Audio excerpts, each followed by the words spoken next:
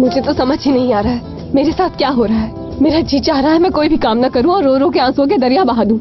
ऐसा लग रहा है किसी कैद में हूँ मैं और वहाँ से निकलने का कोई रास्ता नहीं है। हिम्मत रखनी होगी।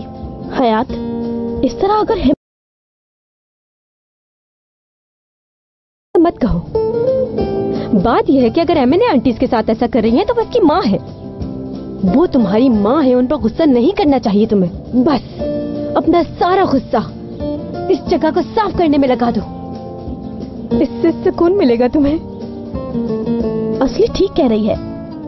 एक तीर से दो शिकार। ऐसा करने से तुम्हारा गुस्सा भी ठंडा हो जाएगा और घर की सफ़ाई भी। करीम! करीम! क्या करूँ? फ़र्क ही नहीं पड़ा। हाँ एक बात और। चाहे जितनी भी जलन हो तुम्हें उस जलन को अपने अंदर से ऐसे साफ़ कर दो। बल्कि सामने वाले को चलना चाहिए। गर्ल्स तुम लोगों ने तो मुझे उस भयानक खाब से निकाल दिया।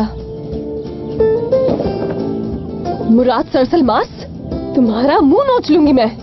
आखिर समझते क्या हो तुम मुझे?